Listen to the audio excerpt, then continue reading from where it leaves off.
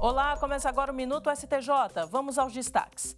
O presidente do STJ, ministro Herman Benjamin, negou habeas corpus de um dos sócios do laboratório investigado por realizar transplantes de órgãos de pessoas com HIV devido a erros em testes laboratoriais.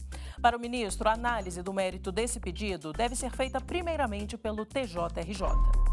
Já a terceira turma decidiu que provedores de aplicação de internet como YouTube podem suspender e também remover conteúdos de usuários que violem os termos da plataforma.